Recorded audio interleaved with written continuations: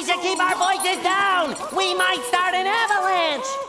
What? I said I think we should keep our voices down in case of avalanches. What should we keep down? Morons. Our voices!